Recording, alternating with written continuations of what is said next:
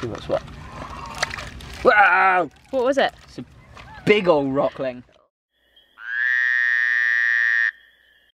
Hey guys, welcome back to another rock pooling adventure. I'm here with Fraser. Hello. Who is going to help us find some interesting creatures in these rock pools. Anyway, welcome to Wembury.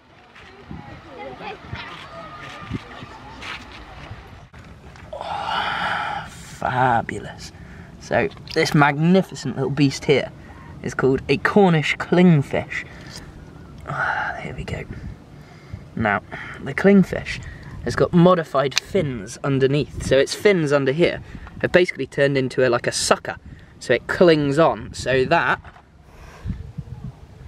It's clinging.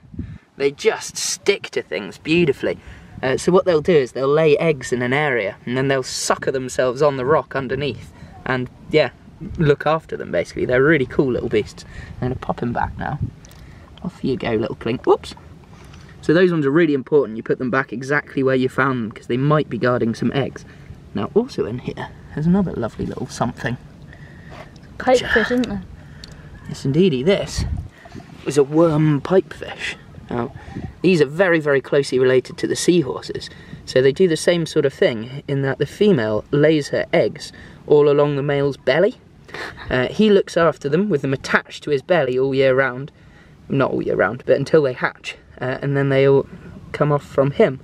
Um, although these ones are slightly less, um, uh, slightly less committed than the seahorses, because if the male finds a female he prefers, uh, he'll simply absorb the eggs and have some new ones with her.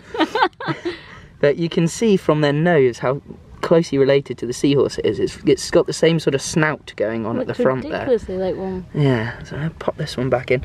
Uh, these are pretty heavily armoured as well, so they feel really, really tough when you scoop them up. So you can pretty much just, well, grab them like this, basically.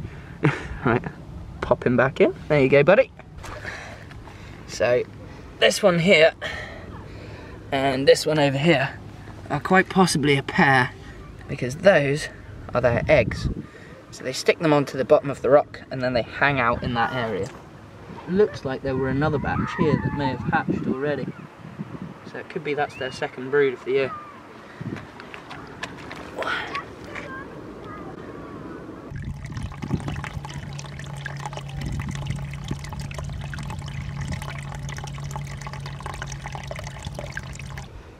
Yeah, it's a rockling.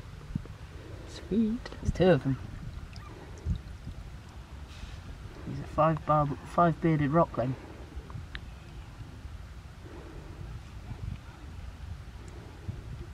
It's gone around to that rock. Ah. It's the end of that one. Yeah. No, he's not. Ah, he's eluded me. Sneaky. Oh, that one's right in the corner. Might be alright getting this one. Yes. so, this is a three-bearded rockling. Five, five-bearded rockling.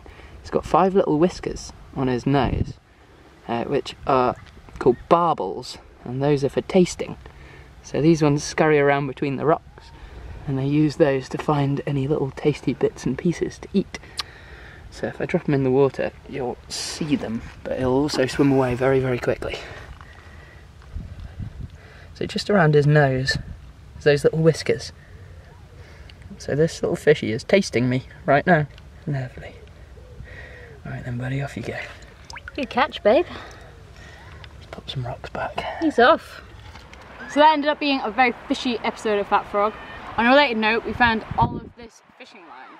Uh, this is a threat to every single fish we found today, but also a threat to the coral nearby. You can see all of this, all this pink sea fan in here, all entangled in this giant mass of fishing line.